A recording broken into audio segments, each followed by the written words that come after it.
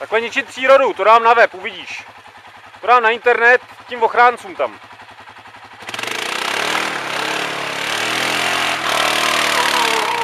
No, máte kod do variátoru. Už mu skřípe řemen. Mhm.